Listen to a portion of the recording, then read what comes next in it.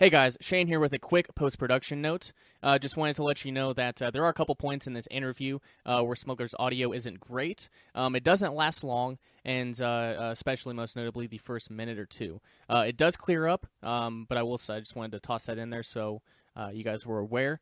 please bear with it because this is a really, really incredible interview with Smuggler. Thanks, guys.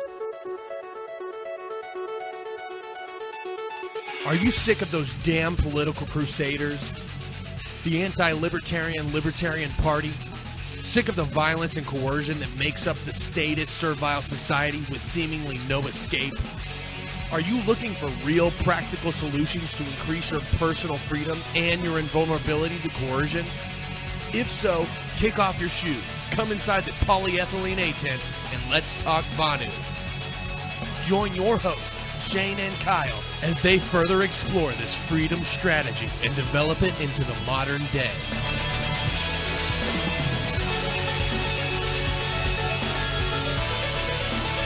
You're listening to the Vonu Podcast.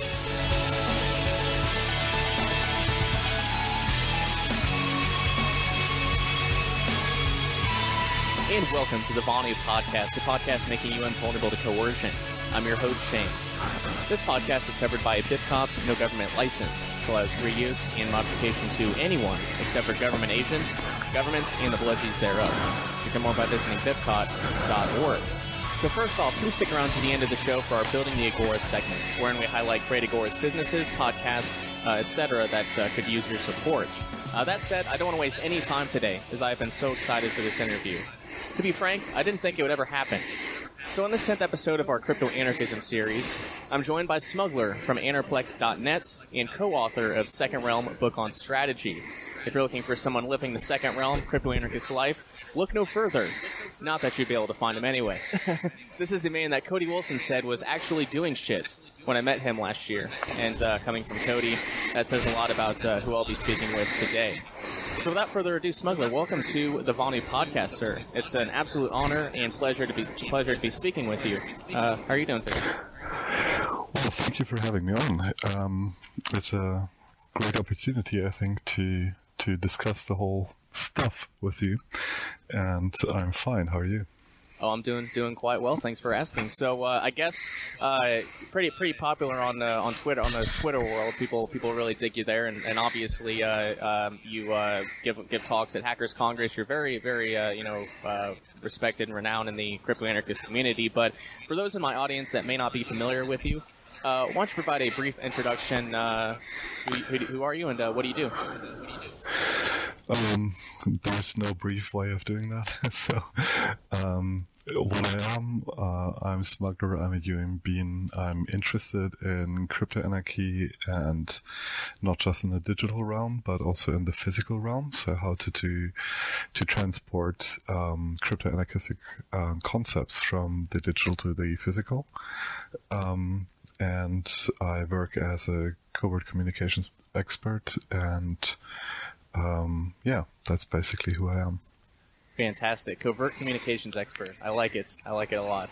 Um, so, very good. And I will say, one thing I, really respect about you uh, is that you know, there are a lot of great crypto anarchists out there, um, but a lot of them are purely focused on the digital realm. And uh, I guess for the past couple years, I've been really focused on how to find freedom in the here and now and you know physical space and time. So when I came across Second Realm Book on Strategy, I was like, yeah, this is this is what we need. You know, uh, the digital digital realm is great, um, but you know, uh, we are social creatures, and uh, being in physical space and time around each other is, is seriously important. So um, that's uh, that's certainly certainly great to hear.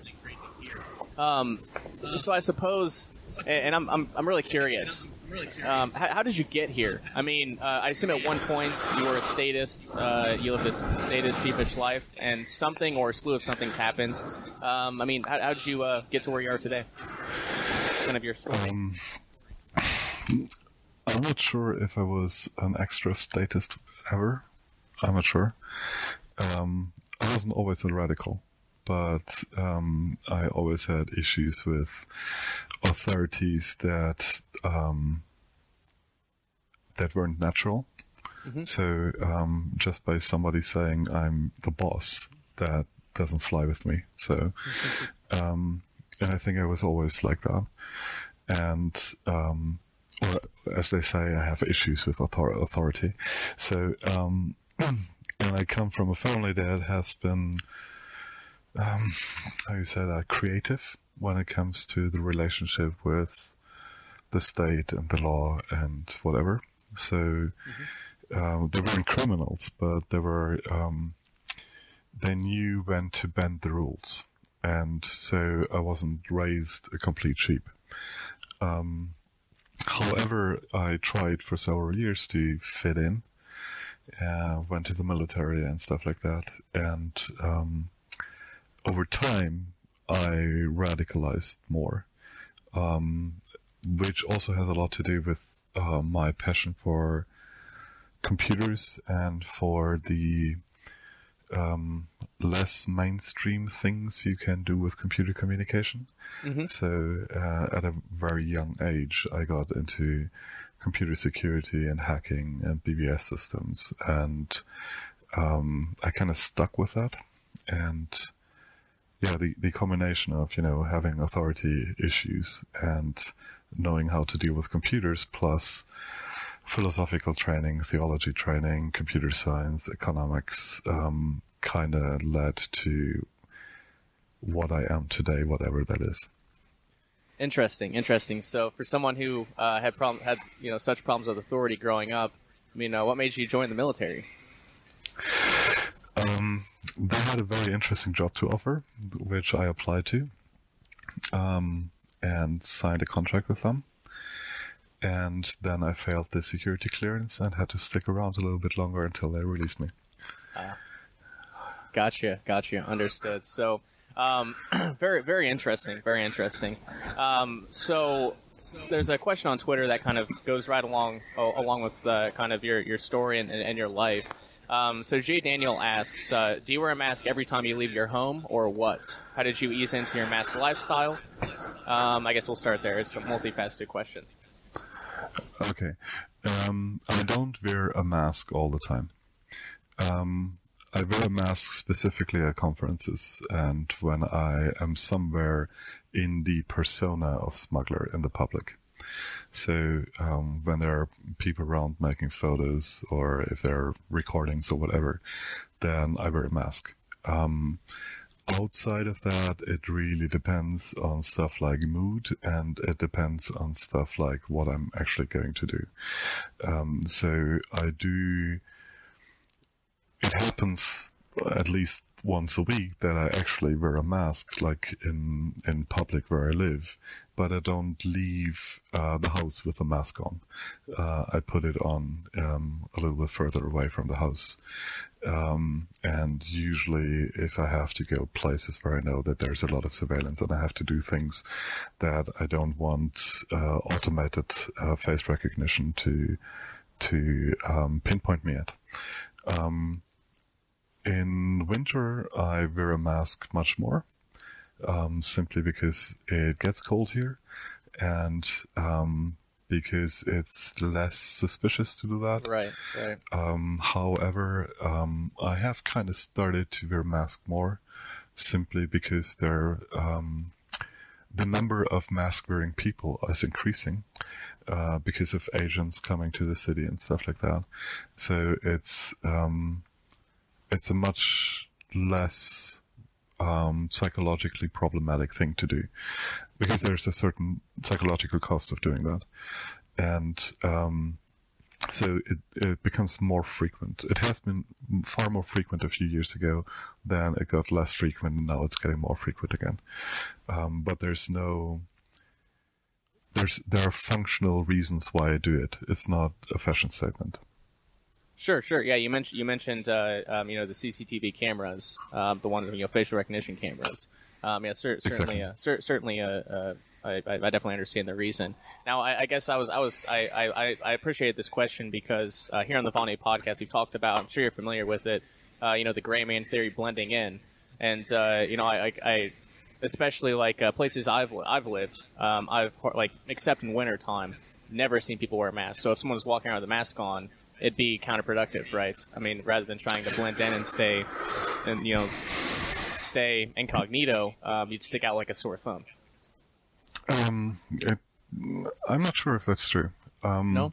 because you you deal with multiple observers of multiple kinds. Um, you might stick out to a human, and the human might do something about that. You know, the human might say, "Hey, why are you wearing a mask?" Um, but you might not be as easily identifiable for a computer. And so the, the real question is, whom do you hide for from? Not just the person, but also the instrument of, of, of observation.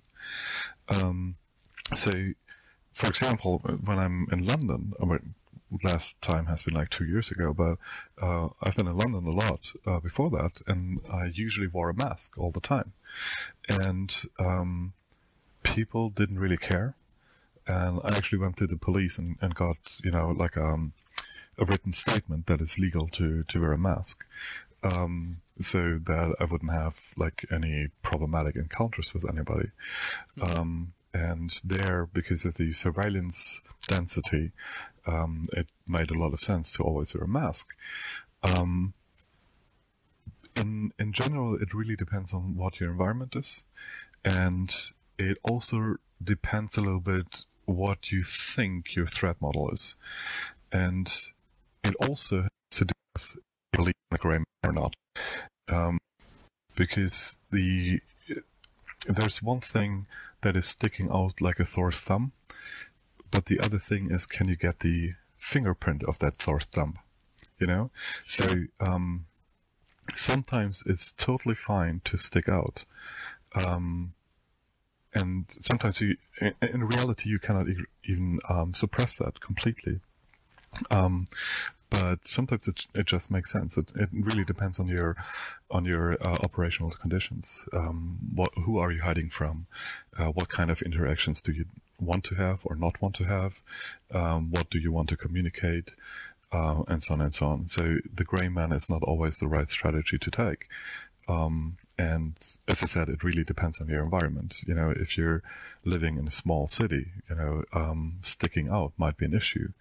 Um, if you're living in a metropolis that is multicultural and uh, where people look extremely different and where the mentality is a little bit more easygoing, then um, no, you don't stick out with a mask. You know, um, it's a lot of that stuff is in your head. It's not really in the head of others.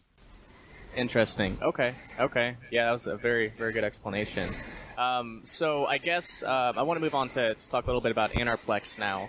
Um, so sometime in your journey, uh, Anarplex.net happened. Uh, so could you tell us a bit about that? Uh, you know, why did it start? Why did you, uh, why did it start? And uh, what sort of uh, what sort of things can people find there?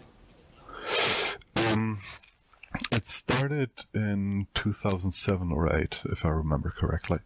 Um, and the the reasons we, we started it was uh, twofold. Number one, there was um, a little bit of a business going on where we helped um, people building darknets, IP darknets to be exact. Um, and we offered like a, a routing service between different darknets. Um, that was the business side of Anarplex, um, and still is to a marginal degree. Um, and the other reason was that I simply wanted a, a place where we can um, collect uh, writings of interest and maybe even you know projects and code of interest. And also, Anarplex runs one of the oldest continuously operating IRC servers on the darknet. Um, and that IRC server was um, it was started because the Invisible IRC project shut down, and um, we thought that it would be a good idea to con- continue the community. Um, of course, the community has changed dramatically in the last 10 years. It's not the same people anymore. But um, yeah, th- those were the reasons. And um, one of the things we do, other than um, having the, the IRC um, server, is that we have a collection of interesting writings, at least in my opinion, um, that concern themselves with crypto anarchy um, with Second Realm, um, with crypto tribalism and stuff like that. So it's also one of the sites where I publish what I write. Um, I have a personal website, but Anarplex um, hosts most of my content as well. Um, and we also host content of other people. So uh, there are a few books that the authors allowed us to publish and stuff like that. Very good, very good. And, and yeah, I will say, I mean, I, I, I had a colleague tell me about Anarplex. He said you should go check it out sometime. I think you'll really like it. And I kind of, I don't know, I, I didn't do it for for a little while, but uh, I think it would have been like December 2017. I decided to visit it, and uh, I yeah, I didn't leave that site for like two days, just digging through everything on there. Um, it's so so so good. So I found hashtag Agora, which is an incredible. I mean, uh, just incredible. Uh, you know, fictional story. Then uh, um, it's not as much fictional as you believe. It's it's not as fictional as I believe. Yeah. Okay, I, I kind of had a feeling. kind of had a Yeah. feeling. But uh, so so yeah, hashtag Agora was great. Read that in you know a couple few hours. Uh, quick, you know, really good read. Uh, your book, Second Realm Book on Strategy. Yours and uh, XYZ's book. Um, Yeah. incredible. Uh, another incredible story there, or not a story, another book, an incredible book. And then uh, it was funny. So I, I was on Anarplex and I found a lodging of wayfaring men, and uh, I it was published anonymously. So I read, I started reading. it, got like halfway through, and I was like, "Who the hell wrote this book? Like who who wrote it?" And I just decided I decided to you know do a do a Google search and popped up on Amazon, Paul Rosenberg. And at this time, I'd been familiar with Paul because um, one of our colleagues, Ben Stone, um, uh, mentioned him um, in interviews. So I went, I went to Ben and I was like, "Dude, you got to you got to connect me with Paul." and he did. He did. So I interviewed him once uh, over Skype, and then I went up to Chicago to interview him in person. Um, but it's like that was just a, an incredible, I guess, just a, a real life connection made from Anarplex. So I figured you'd, you'd appreciate that. Um, but yeah, just a, a lot of great stuff on there. I'd, I'd certainly recommend the listeners go over there, anarplex.net. I'll put a link in the show notes. Um, but yeah, Always just welcome. just a, a terrific site just for the uh, just for the uh, books. But at the same time, the IRC chat's fun too. I don't get in there as much as I need, as much as I should, but I'll, I'll pop in from time to time and um, occasionally reach out to you. So reach out, yeah. Yeah, yeah. It's it's um it's a it's a fun thing because sometimes I feel like um um like a historian in a way of um collecting writings that are a little bit out of left field uh, when it comes to to crypto anarchism because there's like this this uh, American centered scene, then there's the more left oriented scene, and then there's the European scene of like political crypto anarchists. And um, that scene has it has existed for you know decades basically, but there has been this downtime where nobody cared about it. And um, there's a, a joke that it's totally a joke because it's not really true, but um, there's a joke between Paul and me often that we say, "Hey, there were there were times when we were the last two anarchists left on the planet," you know. So yeah, he's mentioned. Yeah, I've heard him say that too. Yeah. yeah, Yeah, because I, I asked him like because he, he's he's been doing this for a while as as, as, as you have too, and uh, I said, well, how has it changed in the past you know 10, 15, however many years it's been? And he was like, oh my gosh, like there's a bunch of us now, and there were times I didn't think there were any. Um, he's like, where, where- you know, where'd Bitcoin come from? But I probably know these people. I have to know these people, but no, yes, yeah, yes, different i guess possibly different Yeah. folks so yeah it's, it's definitely definitely interesting so on the note of crypto anarchism um, on preparation for this interview i went and rewatched uh, your talk from hackers congress last year and uh, Mm-hmm. it was uh, uh, i don't remember what it was titled but something on crypto something on crypto anarchism Oh, and the um, project of crypto anarchy. yeah, yeah, yeah, okay, that's it, that's it. So, in that, I was I was kind of surprised um, because obviously I didn't know a whole lot about you, and you're very very into uh, you know etymology and words and you know grammar, kind of as per the Trivium method, like really trying to understand what words mean. And uh, uh, I hadn't heard crypto, like I, I guess I just kind of clinged on to the more overarching, possibly I guess maybe you'd argue um, inaccurate, um, you know, label of crypto anarchism on pretty much everything. So I guess w- would you kind of give a, a brief a brief summary of, or I guess first off, I mean, how how would you define crypto anarchism? Um, crypto anarchism is implementing political anarchy by means of cryptography. and um, I would qualify that a little bit more, and that is um, what you really need to to implement anarchy is to get into the concept of making rules, um, judging people, and executing punishment. So that is like uh, where rulership really breaks down to. You know, if you if you really look at rulership, it's somebody telling you what to do, and then punishing you if you don't do it. Um, and everything else is just you know a show. You know, but that's like the core thing about rulership. And um, so anarchy is about breaking this. And crypto anarchy breaks it by um, a very specific way. And that is that it undermines the ability of a ruler to attribute an action to a person. So, um, and that is the qualifier when it comes to the cryptography part of it. Um, in my opinion, the, the central tenet of crypto anarchy is cryptography that helps us to break attribution. So cryptography that allows us to stay anonymous, for example. That's the, the foundational thing about crypto anarchy is to break attribution. And, um, that's it. Gotcha. Okay, and uh, yeah, so I, I definitely understood the attribution part, but is, is does crypto anarchism have anything to do with the observation portion? Uh, does crypto anarchism have anything to do with uh, the observation, like obscuring, I I guess, uh, not allowing people to observe what uh, one individual is doing? Um, yes, possibly. I mean, you you have multiple ways of breaking attribution. Uh, one way of breaking attribution is that your actions are not actually observable. Um, so nobody can actually see the act, only the result of the act, uh, possibly. Um, the second thing is that um, it is impossible to describe the person um, making the act. Um, that would be anonymous, basically. Um, and then there's like um, a different way of anonymity, um, and that is if you cannot uh, connect the person committing one act to a person committing another act. So it's a little bit technical there, but um, in in general, you want to either break the observation or you want to break the ability to find the person again that did something. Um, yeah. Okay.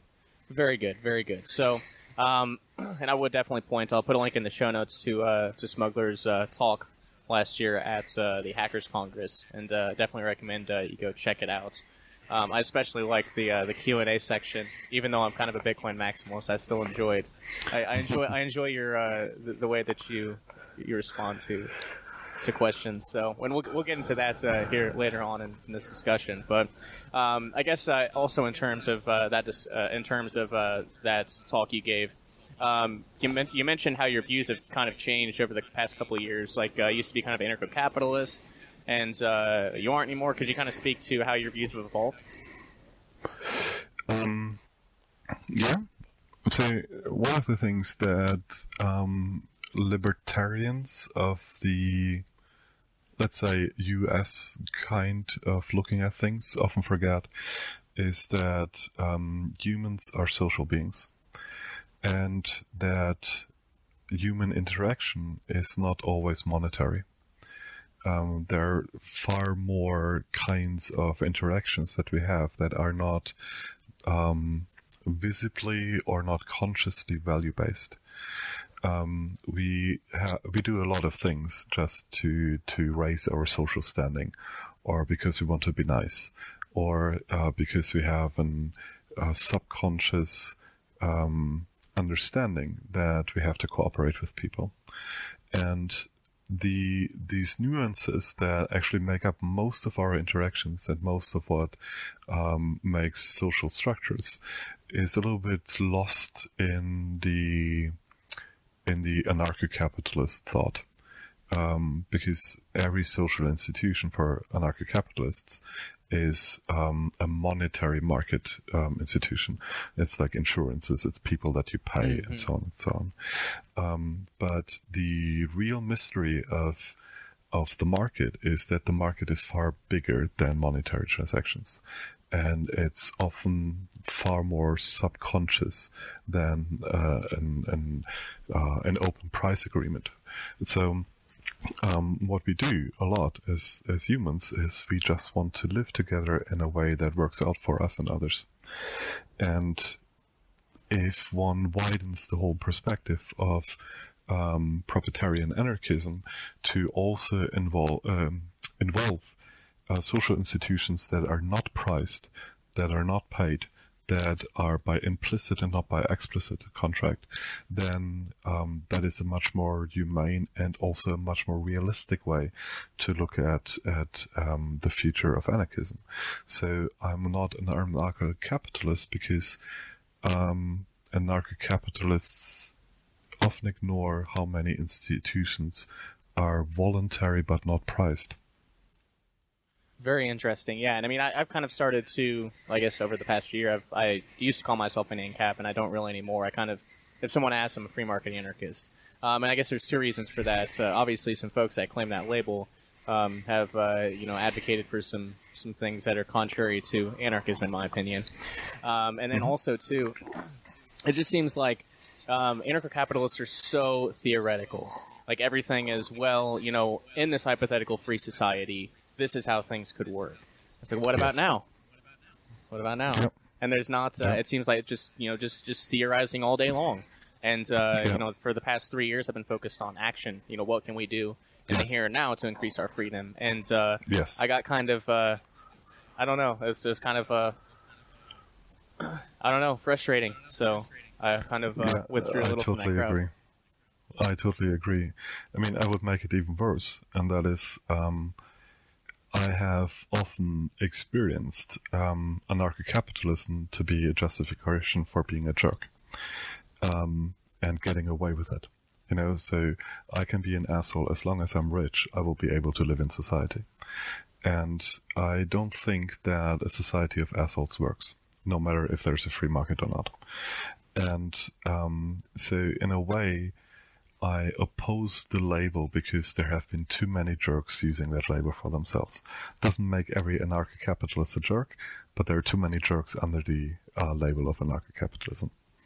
Very true, very true. So, uh, what about agorism then? I mean, uh, obviously, I can understand why anarcho-capitalism, um, but uh, what about agorism? At the Anarchist conference, I actually gave a talk about agorism or what I think about it. While I'm a big fan of black markets, dark markets, I don't agree with agorism. And the reason for that is because agorism is a, a revolutionary strategy. And I think that number one, revolutionary strategies are inherently fault, faulty, flawed. And the other is that I don't think that the systematic and uh, economic predictions of agorism as a strategy to uh, dissolve the state uh, actually works. Um, the risk calculation in agorism is, in my opinion, naive. Um, on the other hand, um, I think that black markets um, are necessary and right. And if you're libertarian and you're not trading on the black market, then you're just full of shit. I mean, you're just talking and not doing anything. So, um, yeah, I mean, be a black marketeer, but don't think that that alone will get rid of the state, if that is even the, the goal. Yes, yes, exactly. Um, that's that's kind of my stance on it too. Um, no, actually, and this is a hidden part of libertarian history that I just recently I, discovered about a year ago. But um, this podcast called the Vonu Podcast, and one of its main proponents uh, went by the pseudonym of Rayo, and uh, this he, he wrote an article called "Ethical Enclaves, uh, Black Markets." This would have been when Konkin would have been like 18, and um, his kind of it's it's agorism only without the you know start the state then smash it. It's just hey, if you want to you know make a little more money, you know just barter with people or whatever you want to do. So it's that's a choice for you, but it's not a um, it's not a requirement. Like if you're an agorist, you have to trade in black and gray markets, right? Um, and for for Vonuans, it's just an option. You don't have to do it, and if you do do it, it's not going to end the state, but you might be a little better off than you were before. Yeah. Um, not sure if black markets are really an option. Because if you want to be consistent in your philosophy And it kind of depends on what your argument for libertarianism is. If you're a utilitarian libertarian or an economic libertarian, then yes, black markets are an option, uh, and just an option. Um, but if you're an ethical um, libertarian, then black markets are not really an option. Then uh, your activity on the black markets is an expression of your ethical beliefs. Um, yeah. Interesting. Interesting. All right. Very good. So I, I guess people are probably waiting. Um, considering uh, we have a Second Realm Book on Strategy available in paperback copy. When we're actually going to start talking about that book, now that we're uh, over a half hour into the uh, into the interview. So um, yeah, man. Uh, like I said, I, I read it. I reread, I reread it again. We did a 15 episode series on the other podcast I used to do, um, just talk going through um, the various elements of the second realm and going into a lot more details. So um, then I re- nice. then I then I kind of picked off Elio Publications and reached out to you and, and asked you if you'd be interested in or if you'd be okay with me publishing it. And uh, I, I, certainly do appreciate that. I find the book extremely, extremely important, and there's not a whole lot, lot of books out there like it. Um, so I want to make sure um, that it gets out into the hands of as many as many people as possible, and that's uh, you know these second realms can just uh, you know be everywhere. Yes, yes, that would be very nice. Indeed, indeed. So I, I guess the first question I have for you is, uh, what what caused you to write that book? Um, I was annoyed. um, uh, uh, most of the stuff I ever wrote is um, me being annoyed to explain basic concepts over and over again. So sooner or later, I say, if I write a book about it, then I don't have to talk about it anymore. Yep. And it's clearly a strategy that totally fails because in the end, you're talking about it much more. But um, yeah, the the reason was um, there was a, a group of, of people um, like libertarians, anarchists, um, free thinkers, voluntarists, whatever, that were debating a lot. Um, and I was part of that group. And sooner or later, I got fed up with the debating and said, okay, I mean, all this debating and why X is better than than Y is is not working for me. We have to we have to have a strategy to go from where we are today to where we think we should be. Mm-hmm. And um, that is when and the, the, the contents of the book um, develop over many years. You know, it's it's uh, hundreds of conversations. And then sooner or later, I said, okay, next time somebody wants to drag me into a conversation, I'm going to put that PDF file into his hands and say, read it first, then we can talk. Yep. Um, so I basically wrote down, it's more like um, a collection of notes. It's not, it's not really fleshed out in every detail um, because of that history, because of uh, it being more like a handout for people that we interacted with um, much more much more um, closely. So a lot of the the uh, things mentioned in there are not detailed for people that have no idea about the concept, but they're more mentioned as uh, mental anchors. So yeah, okay. that's the history of the book. Very good. That's kind kind of the yeah kind of the same reason I I mean I've done all the podcasts and, and wrote my book. Uh, I wrote my book is yeah basically frustration, sick of all the philosophizing, sick of all the theorizing, um, sick of all the petty debates that I mean about details that don't really matter all that much, right? Um, so I decided things that you right. can really deal with when they matter. Yeah. Mm-hmm. Yeah, yeah. So that's kind of, kind of a yeah similar similar reasoning for for why I wrote mine. Um, so I, I, I guess uh, like I said, I've talked about we've talked about the second realm for oh, at this at probably thirty or forty hours on, on the other podcast that I used to do. Um, but for, for here at the Vonu podcast, some of our, some of my listeners may not be familiar with it. So could you uh, you know define define what a second realm is? Um, the second realm is everything that not the first realm is, and the first realm is the area of the state. It's the thinking, it's the laws, it's the infrastructure, it's the territory, it's the institutions of the state. And the second realm is not that. It is everything that tries to have um, social and or technical and or for infrastructure and or institution thing that is not the state. Um, so that is the, the shortest definition of what second realm is. Um, however, there's a strategy behind how to get there. And the strategy is to combine um, digital cryptoanarchy uh, with physical crypto anarchy, and specifically also in creating um, physical territory that is embedded within the first realm, but in which we were able to experiment, develop, and express our own ideas, values, um, methods, culture. Um, and those are temporary autonomous zones. Yes, yes, indeed, indeed. And um, I, I, actually did a talk um, uh, on the second realm at was it last year's Midwest Peace Liberty Fest? Yeah, it was.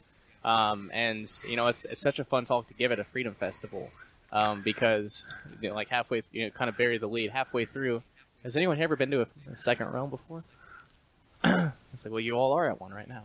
Um, at least, exactly. at least, yeah, at least how I how I um, you know envision it. So, um, yeah, yeah. Uh, so I, I, I love the idea, um, and I mean, it, I I love how it combines uh, you know all sorts of uh, libertarian idea, uh, you know, historical libertarian ideas, uh, temporal autonomous zones. Uh, um, agorism to a certain degree, um, or maybe just black market, what's called black market trading or ethical enclave trading, and um, that's just a, a, really really great idea. So there's actually a related question here since since you brought up TAZ's. Um, R4. Oh, go ahead. No, uh, continue, please. Okay. Uh, yeah. So uh, R4V on Twitter. Um, I'm not going to read the whole Twitter handle, um, but uh, he asks, uh, "What is the influence of TAZ's on the second realm strategy?"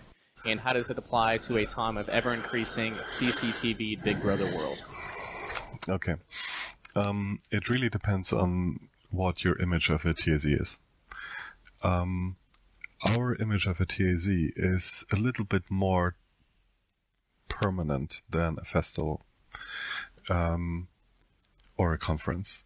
So, for example, while we're talking, I am actually located in a TAZ um, because we build a TAZ.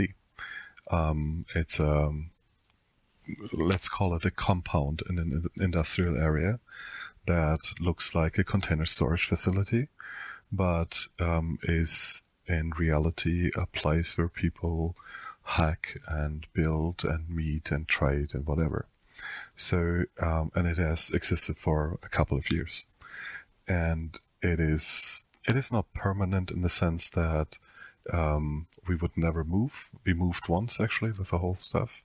Um, but for us, TAZ is something that exists long enough that communities can actually flourish there um, on a daily basis.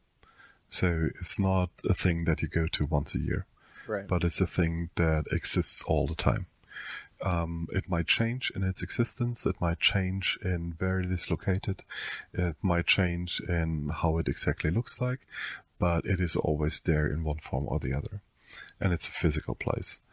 Um, so that is our concept or my concept of a TAZ is actually a semi-permanent um, autonomous zone that is embedded within the urban environment. Um, now, of course there is CCTV, etc. And the thing, the funny thing is actually we have a CCTV system ourselves.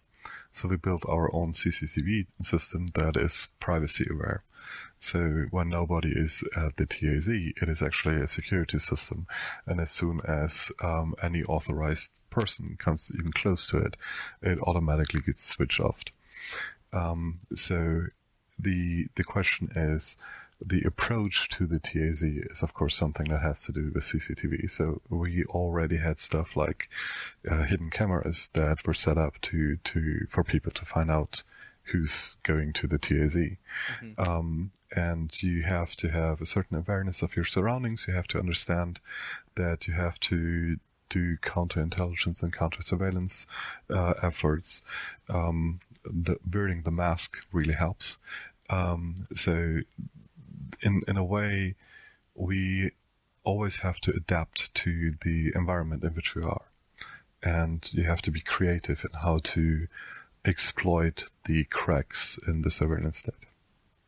Indeed, and and you know this this really uh, it brings something to mind. Uh, there's there's one Vonu strategy called Vonuing in cities, and um, and we we've talked about um, even I mean it basically TAZ is, but it's uh, more more like a Vonu home base is, is what it is, and most Vonu home bases um, to make to for them to be really as as invulnerable to coercion as humanly possible, they have to be um, temporary and mobile, um, at least to a certain mm-hmm. extent. So we we we would already talked about um, you know, the, the possibility of like uh, industrial business parks. You could hide a lot of stuff yes. in there. Um, hide a lot of people, yes. um, a lot lots of entrances and exits, and uh, you could even yes. have uh, kind of uh, you know a front for it too, like a legitimate business, and then maybe not on the bit, not on the uh, building plans, like an underground, uh, um, you know, like underground apartments for you know anarchists or um, agoras or crypto anarchists or whatever.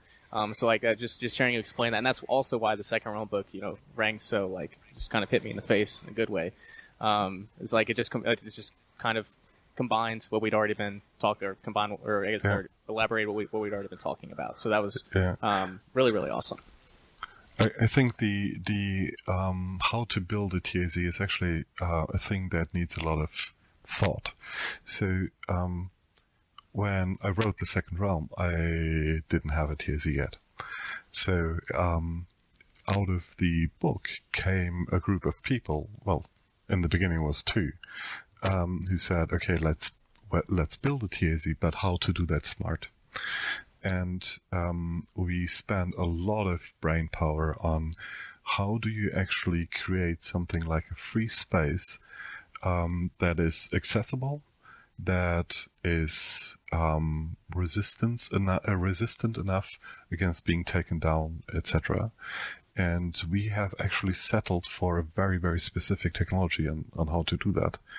Um, we settled on shipping containers, and the reason for that is this: um, shipping containers are inherently mobile, so you can ship them around. You know that's what they're made for. You mm-hmm. know they're not made for sitting somewhere, but they're made for containing stuff and moving stuff. And they're big enough that you can outfit them with um, like office or uh, a bar or uh, a place to live in, you know, like a small apartment. Um, and if you do it right, then nobody from the outside can actually see what's inside. You know, I mm-hmm. mean, you, you could look at our containers and they just look like normal containers. Uh, only when you open the doors can you see, oh, this is, you know, uh, a room to sleep with a bathroom, you know, and this is like a hackerspace, you know, and this is like a bar. So only, only if you have access already, you can discover what is going on there. And the, the interesting thing with, with shipping containers is that they allow you to have mobile capital, which means that when you are um, running into the conflict with the host environment, with the first realm, um, you can undermine the escalation uh, spiral by simply packing your stuff and moving to the next jurisdiction, um, or actually just moving to a different property because then the whole question of who's running what, what is going on there, etc., etc., etc., the whole process on the of the side on the side of the state has to be restarted. So, and you're not losing capital. Mm-hmm. Um, if you're just relying on, um, I always gonna stay hidden, then a single snitch can take out all your capital that they invested. You know, if you, if you have like an underground facility you know, sooner or later, the state will find out about it. And sooner or later, they might actually try to shut it down. And then you're out of all the capital you put into that. And that is how you die. You know, uh, the, yeah. the most uh, state strategies are um, attrition uh, strategies. You know, they're not shooting you. They're, they're using attrition in the form of economic attrition. Um, and you have to undermine that concept. And the undermination of that is um, being able to keep your capital and restart the escalation spiral.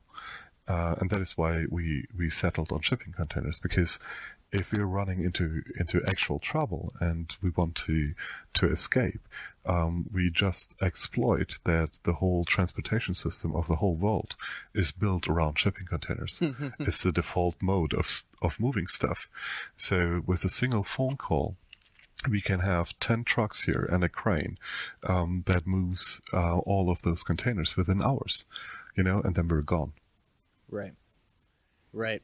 Yeah. And I'm pretty sure. in- Like I, my, I'm about 95 percent sure, but I'll ask because the sh- you, you said shipping container and something came up, came into my mind. Were you on a documentary that's on YouTube? Um, at some point. Yeah. Yeah. Okay. Yeah. So that was you, and you were in your shipping containers. Yeah. Yeah. Okay. Yes, exactly. So th- that, exactly, that was in, in the the early times of um, well, not actually early time, but um, that was one of the the shipping containers, and um, yeah, we moved since then, but um, and we moved partially because of the movie, but um, yeah, exactly. So that was that was early stage. Um, since then, we I think we tripled or quadrupled actually the size of of our place. Uh, we did a little, a lot more build out and stuff like that. So we um, there's people sleeping here almost every week and stuff like that. So um, yeah, Very it moved cool. along yeah. from there. Yeah. I mean, I, I just randomly popped on a video on YouTube, and I was like, "Holy shit, that's Smuggler." Yeah, exactly. There he is. Wow. Okay. Um, so yeah, very very cool. I, I I absolutely love it, man. Um, it's that's I don't know. That's that's incredible. I mean, you guys are you guys are doing it. Um, and yeah, you We're guys are- trying at least. yeah, yeah. Um, so shipping containers, okay, um, and that's a whole level, whole hell of a lot cheaper. I mean, industrial business park would be, I mean, would would be okay too. I would think, um, as far as you know, staying staying hidden and all, um, and uh, I guess have, being able to have a front. But that's a lot more expensive than a shipping container, Yeah, the the and interesting you, thing and you, is you would you- have to deal with a proxy merchant too. Yeah, but the the thing is that you can combine those things, right? So um, the shipping containers that we have are in an industrial zone. Um, so, but the thing is, we just rent space, and rent space through a front company that actually doesn't know what's going on, and um, then we just drop. So, in in a way, the relationship is like a tolerated squatting operation. So. Um, the landlord that owns the property doesn't know what's going on and he doesn't have to know. And um, the intermediary company doesn't do anything else but make sure that the landlord is happy. But it's not at all involved what's what's going on. You know, it's it's just an in between.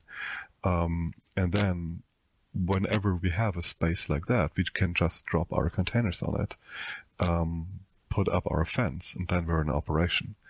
Um, and the the interesting thing is that nobody gives um, any second thought on a pile of shipping containers in an, an industrial area, you know, uh, an industrial zone. You know, I mean, open your eyes and drive around the city, and you will see those stacks of, of shipping containers everywhere. So, plus we're we're pretending to be uh, a storage facility for s- shipping containers. So it's very normal that there are shipping containers where we are, right? It's a storage for shipping containers. Um, but that also means that we can do access control, that it's not unusual that there's, um, you know, alarm systems and CCTV and whatever. Um, and there are people there. And so it's, it's, you know, for a casual observer, it's just a normal uh, business that is being conducted, you know, and you actually have to gain access to the place to actually be able to find out, hey, this is not a normal pile of containers. Right, right. Very cool. So, so I guess some, some comes to mind. Um, so, like uh, Amir Taaki has been, obviously been in lots of documentaries and such with like their their hacker spaces, their squatting. Um, what what, do you, what do you? I guess I mean, what do you think about uh, what what they do over in uh, in Europe? Um, as far I guess from a second realm um, security uh, standpoint, and also just your general thoughts on Amir Taaki. I'm curious. Okay, that's that's a really hard question. Um, and I would have preferred you not asking it. But Sure. anyways, um, so um, I'm uh, a big opponent of actual squatting stuff. Um, you kind of have to respect the property of others if you want your own property to be respected. Sure. So, um, if something is actually abundant and you move in, then that can be fine. But I like the the the interesting thing is what you really should do is exploit the system. You know, and, and exploit I don't mean be a parasite, but use the concept of the system against itself. So the moment I have a contractual relationship with the landlord, I have certain uh, legal rights that I can pretend that I will use. Um, and that makes escalation and conflict with the state so much easier. The other thing is that as soon as you have a contractual relationship with a with a landlord, um, and you're in good standing with him, you you pay your bills, you're friendly, you're clean, whatever, you don't cause trouble, then the the actual interface with the state is that landlord, and that landlord is mostly interested in getting money. He's not interested really in what's going on, which means that as long as your landlord doesn't call the cops, the cops won't show up. You know, so um, you kind of want the landlord to be your friend, and because the, the, the police doesn't just enter private property to enforce something there, um, because they have a question or whatever, but they usually come when they're called because they're lazy as shit. And you have to exploit that. You have to exploit that. So if your landlord loves you uh, or fears you, then you have a lot of leeway in what you're doing. Um, while as a squatter, you are already in conflict with somebody. You you kind of created an enemy already, and it's much better to create allies and to even to the point where the ally understands that what you're doing is a little bit shady, but it's not against him. And then you you have interesting psychological things that happen because uh, sooner or later the landlord asks itself, "Hey, have I been aiding and abetting for a while?" And I better shut up, otherwise I'm getting into trouble as well. So, um, in a in a way, you can if you're peaceful and respectful, you can exploit the system and turn it against itself. Very interesting. Very interesting. So um, we, we've we've talked for um, you know, after like the five or ten minutes uh, gap. It's probably been close to an hour. So I want to get on to I want to get on to, to Bitcoin. I got time. I got, got time. time? Okay. Very good. Very Yeah. good. okay. Um, I'm trying if there's anything else I want to I want to mention with uh, with with uh, Second Realms. I, I, I suppose one thing that comes to mind is, and it was uh, when I came across it because it, it's kind of counter to agorism in some respects. Um, but uh, there was a, there's a section in in Second Realm book that uh, basically uh, when you're in the first realm, obey the laws. Um, you know, um, not, obviously don't don't try to alter or change anything. Uh, when you're in the 1st realm, uh, you know, do those things. But in the second realm, you can be free. Um, so I guess could could you uh, uh, could could you kind of speak to that? Of course. Um, there is there are multiple reasons for that uh, position. Um, there's a strate- strategic um, reason for that position, and there is an ethical um, position. Um, so let's start with the ethical one. Um, there is this. There's an underlying flaw in human thinking, and the underlying flaw is that when we think we found the truth, we have to make everybody else follow the same truth. Um, we're we're in a way we're programmed to be universalists and totalitarianists.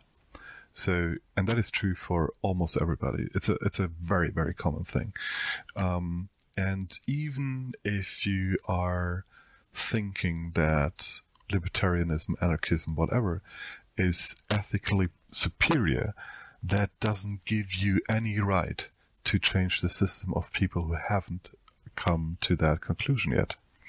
So, because in a way, as soon as you go out and change their world and do revolution or whatever, you're doing exactly the same thing that you're complaining about. Because what you're really doing is you're exercising uh, power against the will of other people. The state doesn't exist just because there are like five people in government that say, let's have a state. The state exists because the vast majority of people, for one reason or the other, wants the state. And they might be wrong, they might be stupid, they might be unethical, all these things. But none of that gives you the right to tear down their system and their lives. Um, so, in a way, if you want to be a coherent person and you want to have a coherent um, idea, philosophy about um, liberty, then that really means that you even have to um, respect the stupid and evil decisions of other people as long as they don't affect yourself. So the the whole concept behind second realm is to really say, okay, you want to have the state, so go have your state. I don't want it, just leave me alone. You know? And I want to have a place with people that agree with me where we live differently. But we're not going to go into conflict with you. We're not going to tell you how wrong you are, or how stupid you are, or how evil you are. That's not our business. You might find that out yourself, you know. But um, we're not going to bomb your buildings. We're not going to to to force the state into its knee. We're not going to destruct the welfare system, and so on and so on and so on, because most people choose that package for reason, and there's no ethical um, justification to destroy their lives and to override their decisions. Um, now that is the the ethical aspect. The strategic aspect is um, we often make fun about the state being so stupid. And, you know, as soon as the state gets involved in any, you know, commercial project, it's a guaranteed failure. because we, we say, you know, and basically we say this, this, the state is stupid. But there's a, um, a thinking error there. And that is the state is not in the business of running a business. That is not what a state is. A state is not a corporation. Um, what a state is, is an organization that specializes in the competition of violent actors. And it's the strongest violent actor that comes out of that competition. Um, so the state might be stupid when it comes to economics, but the state is really good when it comes to violence because that is his, his main business. And he has a lot of competition. There are criminal groups, other states, and there is a thousands and thousands of years history of how to uh, excel in being a violent actor. And that is what the state is. So if you think that you can meet such a violent actor in in conflict, like if you if you try to battle against him, you are guaranteed to fail. The the organizational structure, the systematics of a free market society versus an, an organized cartel of, of, of killers, um, the killers are much better at violence by far. Mm-hmm. Um, so what you really have to do is you have to find a way of how to be able to coexist and how to exploit the decision making of that violent actor for your own profit and your own liberty. So what you really have to do is to to use the state against itself so you can carve away pockets of freedom for for us. And then you number one, you're not in conflict, or at least not in, in, in violent conflict in the sense that you cannot win it. On the other hand, you already uh, also have a moral high ground. Um, if people say, "Hey, why are you doing that? Why are you not following the laws?" Um, then you can always make an argument of, "But we're actually making really sure that we're not harming anybody, and we're really making sure to not change anything about your life." And we're actually giving you far more respect than you give us. And that's an argument that works with a lot of people. There are very, very few people that say, but out of principle, you have to whatever obey the state and be a slave. Um, when it comes to to normal individuals, as soon as they see that you're not going to attack their way of life, they will usually say, "Okay, go ahead, have peace." Right. Right. Very interesting. Very interesting. And something I've, uh, I guess, a little tagline I've used for the second realm is, um, we're not, uh, you know, building uh, the new society within the shell of the old. We're building the new society outside of and despite its existence. Um, I don't know. What do you think that's accurate? um, well, um, I'm not sure what inside and outside is, but um, yeah, yeah. In a way, in a way, we are hiding or occupying um, space that that the first realm was occupying as well. But um, it's not revolutionary. It's not. Um, it's not taking down the state. It's not a cancer, and it's not an outside attacker. It's just, um, in a way, we're, we are building cavities within the system where we can grow our own society. So, um, yeah, I'm, I'm not sure if that if that enough. metaphor really works for me. Fair enough. Fair enough. Yeah, I, I just thought of it, and I was like, yeah, might, might get his get his thoughts on that. But uh, hey, now I now I I understand better. So, um, is there anything else uh, um, regarding Second Realms you'd like to emphasize, or um, anything you'd like to uh, um, pass on to listeners on that subject? Uh, yeah, a few, a few things because um, it's common questions that come up. Um, so one of the common questions is, um, okay, the second realm strategy looks good, but how do I actually start with it? Um, I think the there's a very easy process there. The process is number one, you have to find people that live in your same area that you become friends with um, you have to have social connections and you have to have a, a group of people that agree on building TAZs because TAZs, digital and physical, are the core of the second realm. Um, without them, you go nowhere. Right. Um, and the second thing is you really have to decide to invest in your locality. Like, um, a, lot of people, you know, they say, okay, I'm going to travel around all my life, or um, I'm I'm going to live in the woods, or whatever. But uh, the second realm is really um, a strategy for social people. It's a it's a strategy for people that cooperate and that together build something, and that requires physical closeness.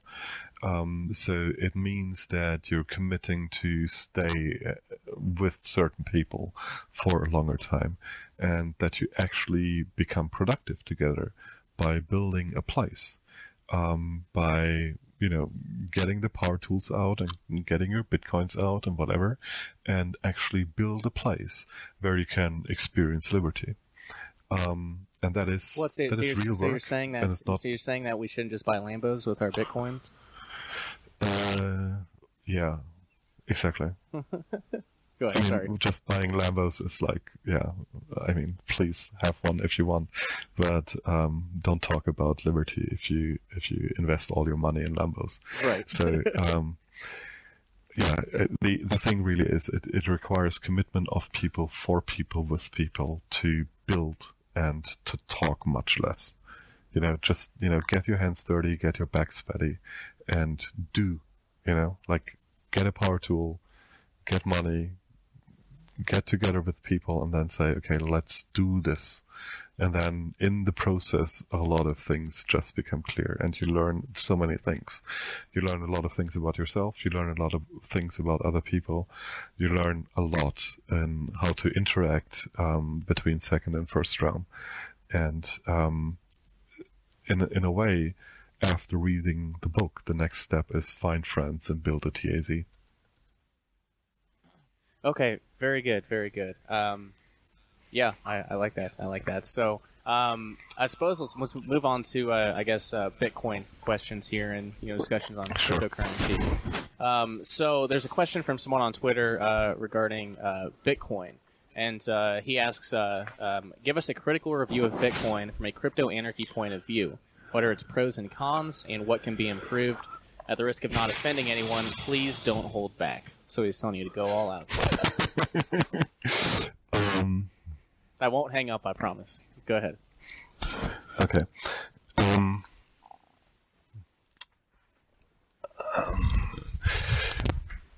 number one, I like Bitcoin and cryptocurrencies for one reason, and that is that they have enabled a lot of people to do um, relatively fast, relatively quick, and permissionless financial transactions.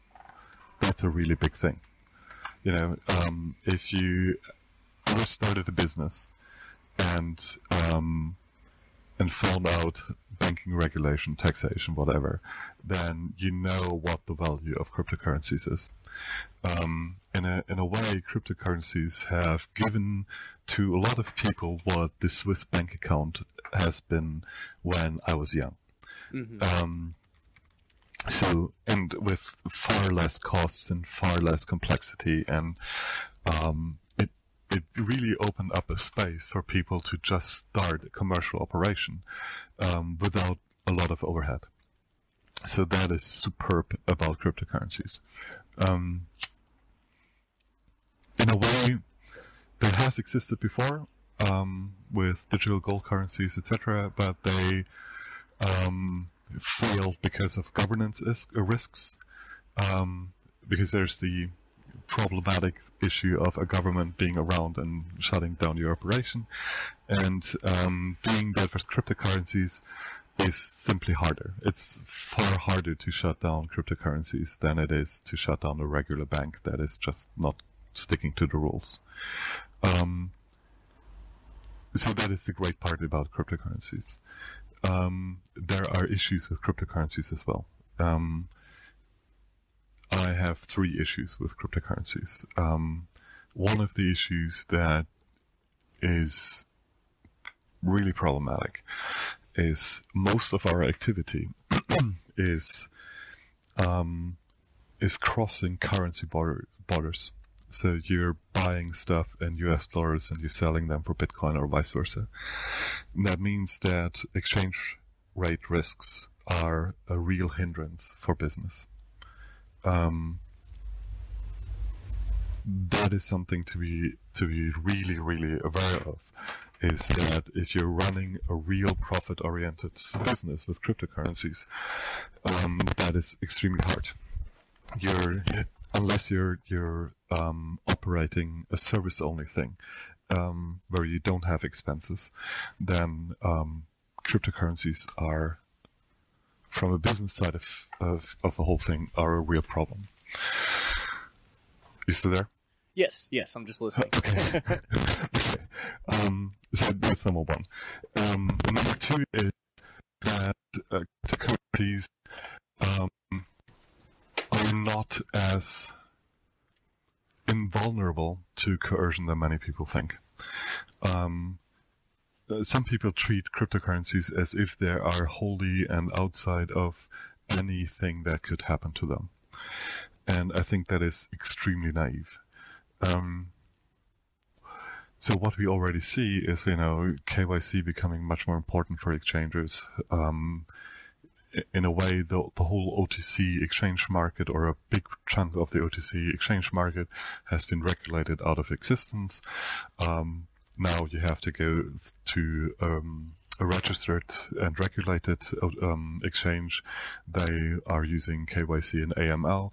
So essentially, what you're back into is a bank account. Mm-hmm. Um, so in in a way, without really attacking the cryptocurrencies themselves, um, what the state has has um, managed to do, and it was highly predictable that they would do that, is they regulated the ecosystem to kill the main aspects why cryptocurrencies make sense.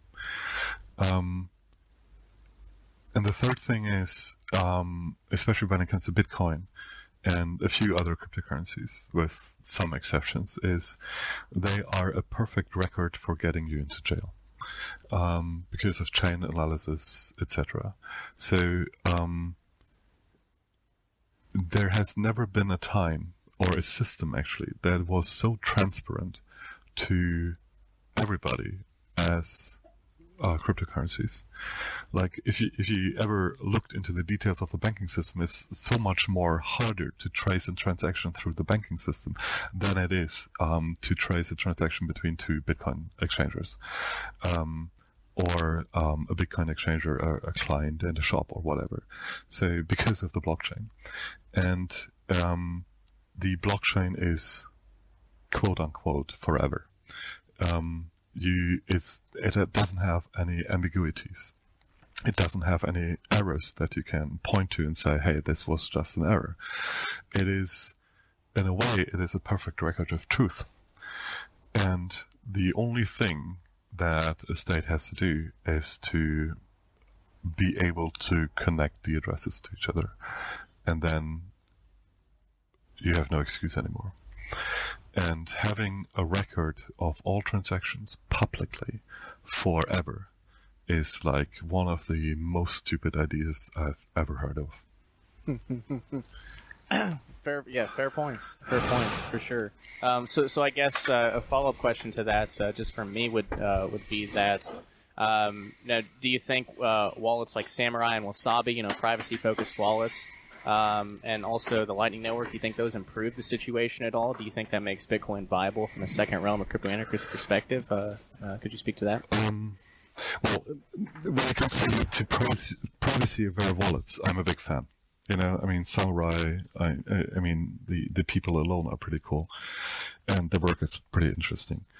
So, um, yes, you have to kind of use a privacy aware wallet to make Bitcoin usable at all, in my opinion. Um, when it comes to Lightning, etc., um, I actually think there's an. Um, I don't think that the, the privacy promises of Lightning are actually that good. So I'm actually not that sure on on if that is enough. Um, sure, and, and, I think I'm, I'm, sure you're familiar with this, but just for the benefit of the listeners, uh, the the argument goes that since not every transaction is settled on the blockchain, provides more privacy. Since it's not, um, since every single transaction isn't on there, and you could have just uh, you know 25 transactions between people, and then one person ends up settling on the, settling on the blockchain at the end of the day. Um, so that's, right. that's, that's kind of the argument. So you don't think that uh, really holds much weight? Well, it, it holds much weight compared to the current situation, which is shit. You know, the current situation of everything is on the blockchain is shit.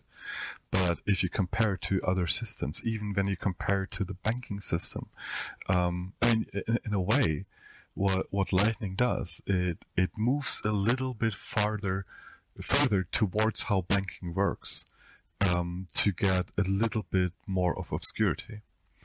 Um, so, in a in a way, um, it, it is ironic. It is it is really ironic if you if you if you think about it, because what we were actually doing here is um, Bitcoin was created basically as something like um, uh, how you say it, uh, algorithmic uh, Federal Reserve, and then on top of the Federal Reserve System, you build the Lightning Network, which is basically the commercial banks.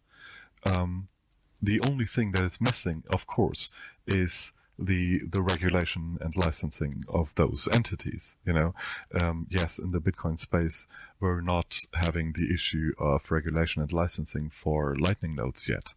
But from a systematic perspective, it is exactly what we're doing. We're copying the banking system um, with just one real difference, and that is um, when it comes to to um, uh, money creation. Uh, the money creation is algorithmic instead of uh, political. Um, but from a from a systematic uh, point of view, uh, yes, what we're doing is we're building the the early days of the Federal Reserve System. Um, with layers of, of intermediaries. Um, and those intermediaries right now, there are a lot of them. Um, because everybody just, you know, can start a lightning node and that is great. Um, however, when it comes to, you know, network effects, etc., it is relatively predictable that, um, the number of highly connected and highly capitalized lightning nodes is going to be very small and those are essentially becoming hubs in in the Lightning Network. Uh, they are basically banks, um, and it's just a matter of time before um, the government will say, "Hey, you look like a bank. Maybe you need the same regulation as a bank." Mm. And then what? So, yeah, what's, um, what's in, next? Yeah, exactly. So, in in in my opinion, there there is there are things that cryptocurrencies solve, like actually solve, and that is um, they are a distributed virtual currency which means primarily that the the currency function, like creating money function, is um, is depoliticized and harder to to to regulate by the state than normal banks would be. You know, I mean, there have been banks issuing their own currency forever. Um, I mean, it's still today. It's a it's a relatively normal thing that some banks issue their own currency. Um, now, doing it distributed and doing it algorithmically is an improvement for some people. Um, I'm not 100% sure that doing it algorithmically is actually better than doing it politically, but that's a different thing. Um, but it's distributed, and that's a good thing. Uh, it's harder to take down, but it is not something that massively increases privacy, and it's not something that massively improves the attribution issue. Um, that is true for other cryptocurrencies. I mean, if you look at Zcash, if you look at Monero, if you look at Mimblewimble based systems, um, they are much closer to the crypto anarchistic idea of how how money should work. Um, I'm not sure if blockchain systems are really the end of all. I'm I'm kind of betting that there's a better way to do it, but we haven't found it yet. But um, yeah, I'm not a Bitcoin maximalist. It's the, the Bitcoin is the the Federal Reserve of the cryptocurrency space, um, and it is Grin and Monero and Zcash that are the uh, black market trader currencies of choice. Interesting, interesting. So, um, I guess speaking to the to the maximalist position here, what what do you think about? Um, I mean, kind of the the the, the claim there is that um, eventually Bitcoin will become, uh, you know, like the Bitcoin standard, kind of like the, you know, the gold standard. Bitcoin will be the um, the the medium of exchange worldwide, um, and since governments can't control it, um, then it'll end wars, it'll end taxation, it'll end all of these things. You don't think that's, uh, uh, that's uh, no, no, no, I'm sorry that I'm laughing, but um, from a from a technical perspective, Bitcoin can I mean Bitcoin can't even compete with Visa in in the US, let alone with all the payments that are done in cash and all the payments done worldwide. I mean the the amount of payments that are happening every day is staggering. You know, um, you know you don't replace that easily with uh, a blockchain based system. Um, even with lightning. I mean, the only thing you, you, you really gain when you put lightning on top of that is, yeah, then you have enormously big hubs that connect enormously many people. Um, and then you, you do your transactions through that. I mean, that is ludicrous. I mean, what exactly have we won there? So, um, no, I, from a, from a technical point of view, that alone is, is, um, I, I, find that humorous uh, beyond end. Um, when it comes to the claim government cannot regulate it, um, I'm really sorry, but what co- government can and cannot do is only limited by human imagination. And I would really go out and ask a few, you know, computer security people, a few scenario thinkers, and etc., uh, and ask them how would you actually take down Bitcoin, whatever. And then they would point to places like China or Russia and say, you know what? Um, yeah, you, you, you can, you know, control large parts of the internet if you really want to. And, um, you could kill a lot of communication on the internet. And because Bitcoin, uh, is, is internet based, you can make Bitcoin extremely hard to use. It might not kill it, but it will certainly be hindered enough that it's not going to be the currency of choice for people because people really want to do transactions. And that is another thing when, when you look at that cryptocurrencies, how much of the money flowing there is actually transactions paying people paying for goods and services. And that is, uh, I mean, it's minute. You know, it's, there's almost nothing happening there because everybody's just speculating. Um, so I'm I'm slightly critical when it comes to that. slightly critical. Um, I, I understand why one could wish for that for political reasons. I certainly would wish for it um, because then I would be filthy rich because my bitcoins would probably go up by a factor of 5,000 mm-hmm. um, if that would, would be happening. Yeah, of course, you know, um, but in in a way, it's it's a fairy tale. I don't believe in that at all. I don't. Okay, fair enough. Fair enough. I, I certainly appreciate um, the explanation there. Now, I, I want to bring up, and I guess we're on the, the cryptocurrency portion of this here. So, um, in hashtag Agora, um, there's something uh, called open transactions, and. Um, I, I, even brought this up to uh, um, one of uh, one of the developers for a project I'm working on. Um, he's he's a Bitcoin maximalist, and I showed him open transactions. He's, or I, I, mentioned open transaction. He said, "Oh yeah, that's that's you know, I, I, it's great. I'm sad it didn't go anywhere."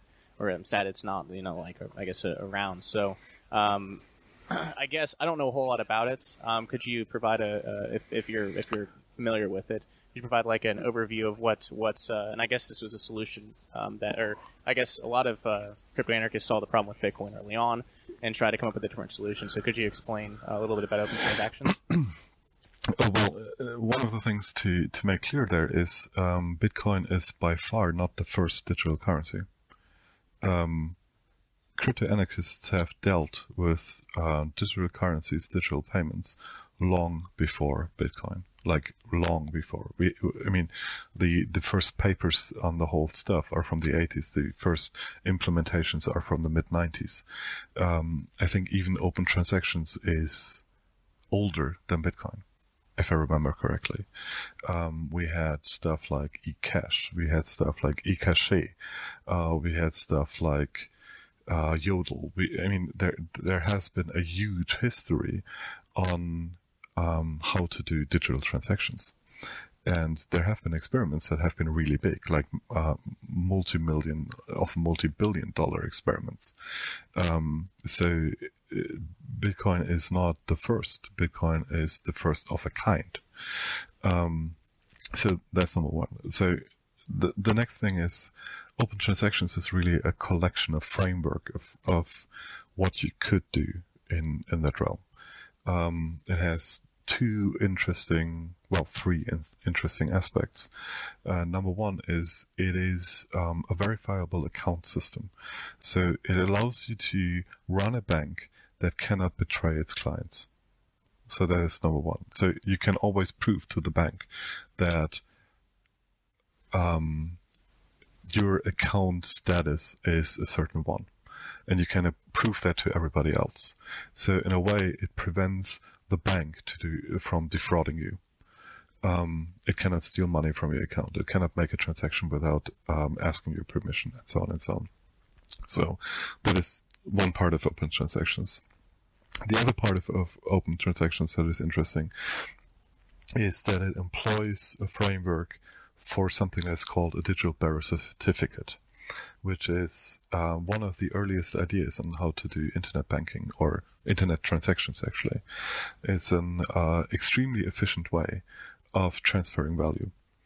Um, and it actually has the potential to be actually completely untraceable and anonymous. Mm. So you can build uh, digital bearer certificate systems that are provably anonymous. They are better than cash. Like from the privacy um, perspective, they're better than physical cash.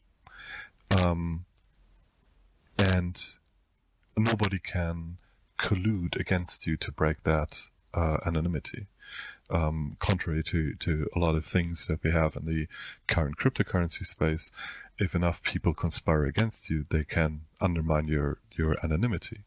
While in DBC systems, you can build systems where you can always be in the plus one situation, which means that it is always indistinguishable if it was you or a specific other person.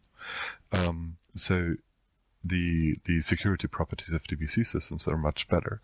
They're also much cheaper and they're much faster. They have one issue though. They are vulnerable to issuer risk.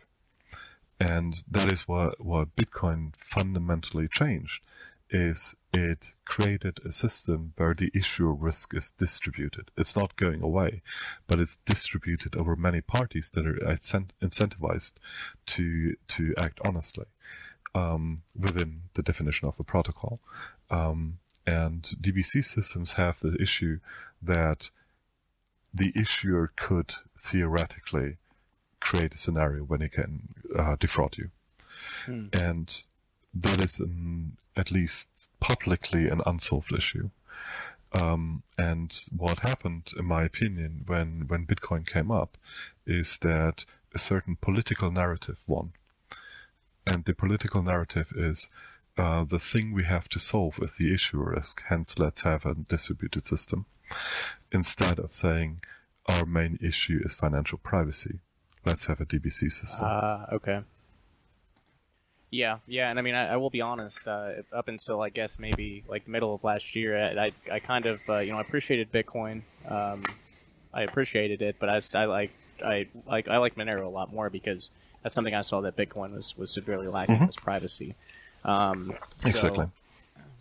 I mean, yeah. So I, I, I yeah, I, I, certainly understand that. Um, so I guess um, there was. Uh, um, I guess I'll ask, I'll, I'll ask the couple questions simultaneously. So, um, with your with your background in uh, you know computer security and uh, crypto anarchism, um, what's your overall viewpoints on on the uh, cryptocurrency space now? Like uh, ICOs, uh, smart contracts, everyone trying to build some new tool on the blockchain. Um, I mean, what, what, what, do you think about that? Is it uh, uh, going to be at some point? Is it, is it just is it a good is it uh, you know a good thing? You know, we'll get some good ideas out of these out of these uh, projects, or um, what, what, what do you think? Um, well, in a, in a way, it's um, the beauty and the brutality of the market that's happening. And that is, um, there's an idea that convinces people, and nobody really knows how to, to how to deal with it and what to do with it. So what do we do? We do a lot of trials, and a lot of those ideas will um, dramatically fail. But on the other hand, we will also be lucky and find a few things that really make sense. Mm-hmm. So um, it's a it's a normal thing, you know. If you if you're dealing with a new technology or a new idea that you don't fully understand because you cannot fully understand it, or because you cannot really predict how the environment will react to it, then what the market does, it it tries it out. And yes, a lot of people fail and lose all their money, whatever. But in the everybody learns. So that is what, what's happening right now. Um, of course, it's you know combined with a lot of hype, and we gonna solve everything from you know hunger to world peace and and healing cancer and everything. But um, a lot of that is is just marketing talk. Um, so far, the true applications of of blockchain technologies outside of currency like algorithmic currency escape me. I have to admit that. Um, there are not that many things except for algorithmic currencies and maybe title management that really makes sense on the blockchain. Uh, for everything else, we already have solutions that are pretty good um, and far better understood and faster and cheaper and uh, more stable and so on and so on. So there's a lot of um, people that make money by using a term that nobody understands. Sure. Um, and a lot of people not having much clue about how to build distributed systems. Um, when it comes to smart contracts, there I'm a I'm a total heretic. Um, that was my next question. I, I, remember you mentioning in the presentation. It was like I think you just kind of mentioned in passing, "I hate smart contracts" or something, like some, something like that. So I was kind of, yeah, what, yeah. yeah. Go, go, ahead, yeah. I'm curious. okay, it's, it's it's not a technical argument that I have there. Um, from uh, a technical point of view, theoretically, you can have good uh, smart contracts. Um, I mean, we have to learn how to make them actually good. We don't know that yet. We don't really know how to deal with um, the security of unchangeable, forever committed code. Um, I mean, basically uh, your Windows operating system gets an update every day, but we have the idea that we can create contracts that run huge organizations forever and commit them on the Mm. blockchain. You know, that's kind of there's a little bit of a hubris there, um, like the idea that some people think that they can write perfect code. I haven't seen much perfect code in my life. Um, Have you ever? like none. No? Uh, yeah, well, I, I would like to say I, I never saw it, but uh, in recent years, when it comes to formal proofs and and symbolic uh, testing of, of software, we have created software that, at least within specification, does exactly what it should do, and the problem just gets pushed upwards. It's towards the specification. Um, but the implementation itself, yes, we can make almost perfect implementations.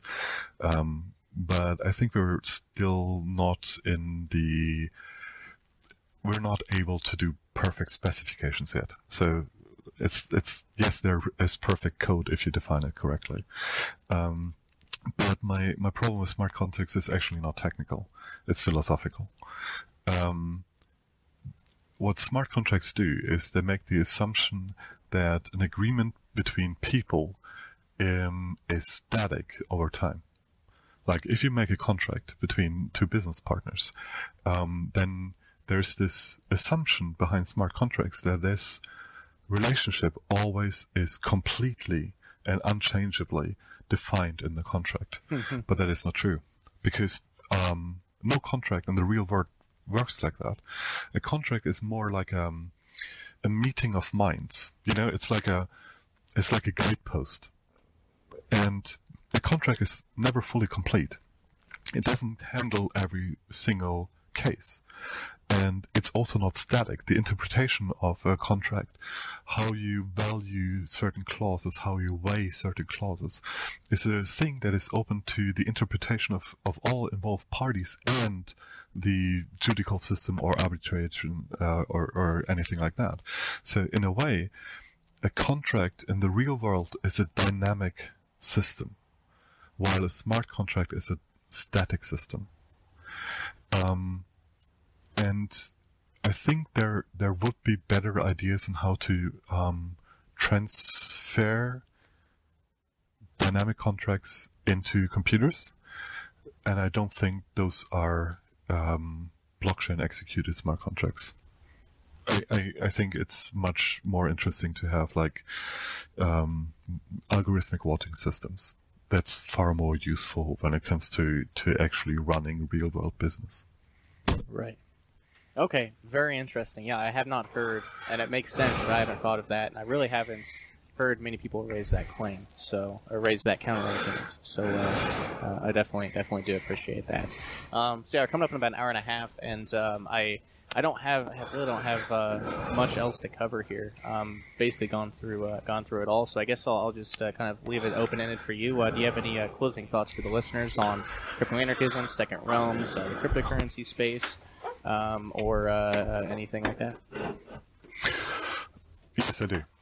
And I think that um, of, there are two things that um, I would like to emphasis, emphasize. Um, thing number one is um, we really have to be careful with all the things that we do to not by accident create a new monster.